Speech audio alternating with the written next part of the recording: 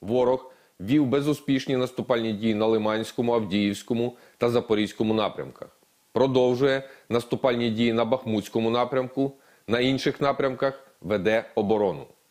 За минулу добу підрозділи Сил оборони відбили атаки окупантів в районах населених пунктів Стельмахівка і Новоселівське Луганської області та Виїмка, Роздолівка, Білогорівка, Парасковівка, Бахмут, Ступочки, Новобахмутівка, Первомайське і Мар'їнка Донецької області.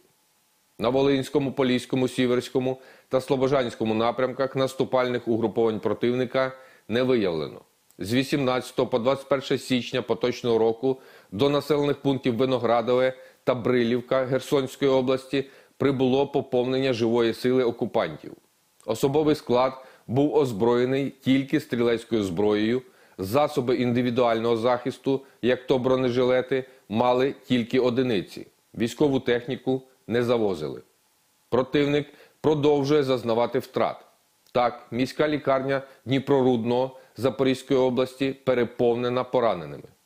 Тільки за останній час доставлено близько 150 загарбників. В той же час більшість персоналу лікарні відмовилися співпрацювати з окупантами. Тому медиків направляють з Російської Федерації.